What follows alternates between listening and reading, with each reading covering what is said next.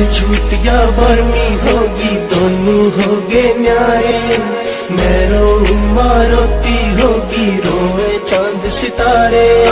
सूर्य छूट या बर्मी होगी, दोनों होगे न्यारे।